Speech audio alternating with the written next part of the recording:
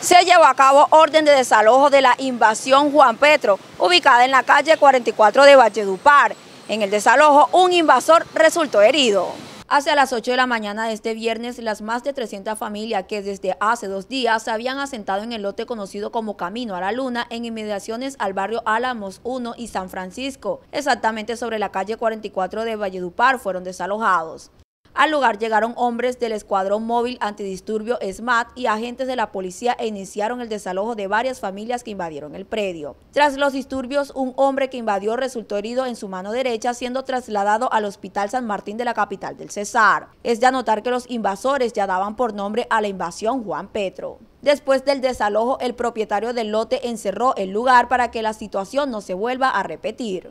Te invitamos a conocernos a disfrutar de nuestros deliciosos platos. Más la Restaurante Bar.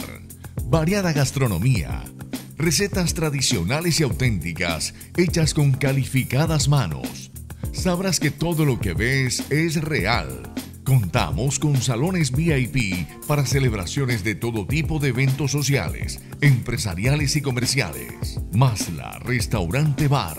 Buena atención exquisita comida, servicio de karaoke y bebidas nacionales e importadas. Dirección, carrera 15, número 1077, San Joaquín.